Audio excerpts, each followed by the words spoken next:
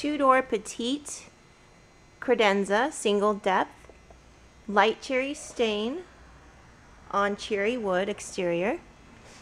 The windows are armoire style window doors.